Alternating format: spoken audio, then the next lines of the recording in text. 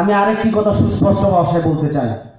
ইসলামী রাজনীতির একজন চর্চাকারী হিসেবে, ইসলামী রাজনীতির একজন অনুসারী হিসেবে, আল্লাহ আল্লাহ রসুলের আদর্শের পতাকাবাহী আওলাদ রসুলের একজন গোলাম হিসেবে আমি বলতে চাই। কোনো ব্যাকডোর দিয়ে ক্ষমতায় গিয়ে ইসলামী শাসন ব্যবস্থা কায়েম হবে না। যে কোনো শর্টকাট ব্যবস্থা দিয়ে there is no shortcut way যদি শর্টকাট ওয়ে দিয়ে ইসলাম কায়েম হতো, তাহলে মুস্তাজাব দাওয়াত প্রিয় আকাশ সাল্লাল্লাহু আলাইহি সাল্লামের একটা মুনাজাত সারা বিশ্বের জমিনে ইসলাম কায়েম করার জন্য যথেষ্ট ছিল। কিন্তু প্রিয় আকাশ সাল্লাল্লাহু আলাইহি সাল্লাম দোয়ার মাধ্যমে ইসলাম কায়েম করে নাই।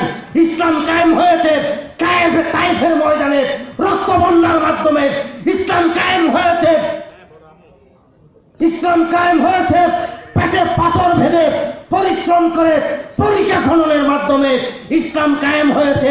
কারবালার জমিনে আল হোসাইন মিন্নি, ওয়ান আমিন আল হোসাইনের মতো নবী পরিবারের শাহাদাতের মাধ্যমে।